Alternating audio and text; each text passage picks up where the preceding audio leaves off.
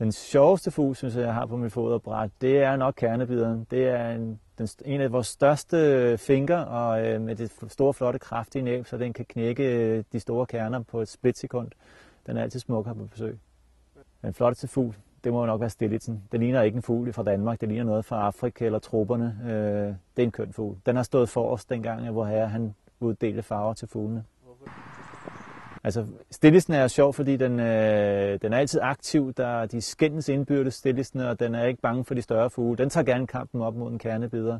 Så øh, der er action på drengen, når stillisten er på foderbrættet. Og så kommer de som regel, der hvor jeg bor, i flokke på 10, 20, 30 stykker. Og så er der liv og glade dage.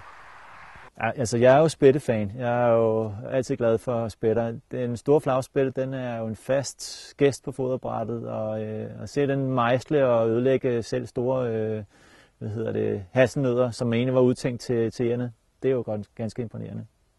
En sjov ting på foderbrættet, det er, og det er meget simpelt, det er simpelthen at kigge på musvitterne. En musvit, han, øh, kan man kende ved, at den har et slips på sit bryst, som går langt ned på maven og breder sig ud helt ned på buen. Det er altid hannerne, der ser sådan ud. Og hvis man ser og kigger på de her musvitter og indbyrdes deres hierarki, som der altid er, når der er på sådan en foderbræt, så viger dem med det mindste slips, de viger for dem for det, med det store slips.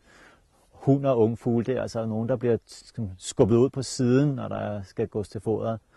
Og det er noget, man altid kan sidde og kigge på. Og så er det noget, der ofte sker på et foderbræt, og det er ikke kun lige øh, sådan en sjældent gang, det er, at der er de her unge hanner, som jo gerne vil have føde, jamen de laver sådan et øh, advarselskald, et højt, fint kald, som får alle fugle til at flygte i skræk, fordi det er advarselskaldet, når der er sporehø. Den eneste, der ikke flygter, det er den, der har sagt det, det er den unge han. Han har simpelthen snydt hele banden. Øh, så, øh, så har den altså lidt chance for at få det foder på foderbrættet.